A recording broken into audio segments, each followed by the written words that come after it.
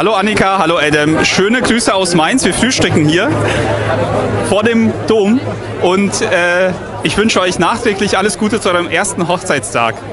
Viele Grüße, tschüss.